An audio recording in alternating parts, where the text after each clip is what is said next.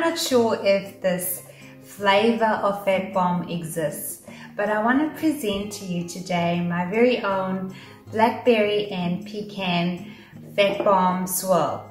It tastes like ice cream, it tastes like cheesecake, and it tastes like a Fat Bomb. And this is what they look like. Absolutely gorgeous. And we had a friend uh, come and pick their daughter up um, after a play date. Well, the 16 year old, so not really a play date. And we made him do a taste test. So if you're interested in seeing his reaction, do um, we're going to show you that after the recipe.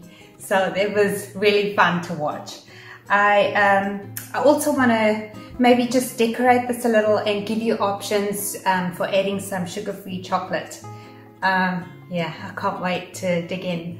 So let's go through the recipe and I'll see you after. It's one and a half cups of heavy cream into a bowl and whip that until you have soft peaks, then set that aside.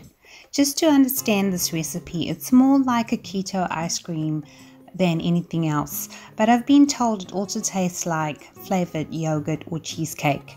If you're new to my channel, welcome. If you love this recipe, please hit the like button and subscribe to my channel to access lots more yummy keto recipes. Also hit the notification bell so you know when a new recipe is being released. The nutritional info is listed in the description box. Then in a separate bowl, combine 1 cup of cream cheese, 2 tablespoons of butter, a quarter cup of monk fruit sweetener. Then fold in 3 tablespoons of crushed pecan nuts, a quarter cup of chopped blackberries, and 1 teaspoon of vanilla paste. Mix all that together until you have an even consistency. Then add the whipped cream and combine.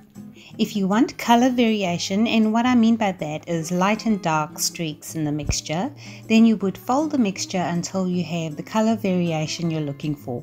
I combined my mixture fully and that's also just as good. Okay, for the next step you need something to separate the mixture into the servings. You can use an ice cream scoop placing them onto baking paper for freezing or even an ice cube container. For me, the easiest was using a piping bag and a silicone tray. Then pop them into the freezer for 2 hours to set. When you're ready to eat them, take them out of the freezer and let them sit for 10 minutes so they soften a little.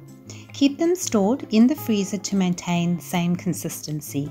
If you want them softer, you can also keep them in the fridge for 2 days if they last that long. These Fat Bomb swirls need no decoration.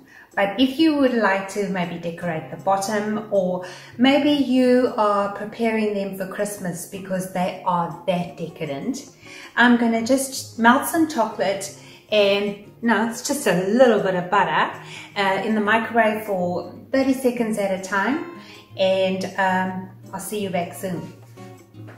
Okay, I've got my chocolate to a paste and um, that's what it looks like. Just because I want to show you one option. Sorry that's what it looks like. And just because I want to show you one option um, I'm just going to grab one and coat the bottom. And I'm using baking paper so it doesn't stick to a container. But you can coat the sides and just pop that down onto another or you can do a ganache with sugar-free chocolate like I'm using and cream.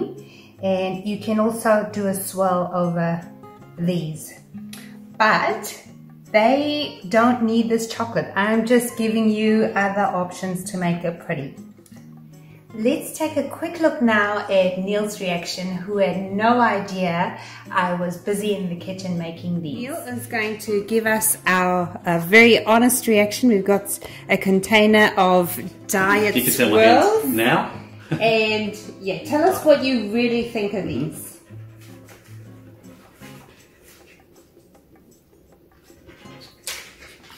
That is, that is beautiful.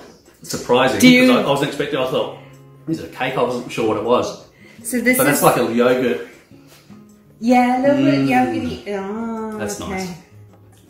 No acting in that. No, That's no acting. No, honest opinions. That's absolutely beautiful. Oh, That cool. won't last long. so this is for a keto diet, which is Oh. low carb, high fat. Yep. So Huh. no guilt with it. No guilt. No. No guilt. Mm-hmm. I don't have to share in the diet. There you have it. Neil is non keto, he's an ex athlete, and does not have a sweet tooth. He is definitely a savory person. So if he thinks it's alright, I'm pretty sure you're gonna love it. Thank you for watching. See ya.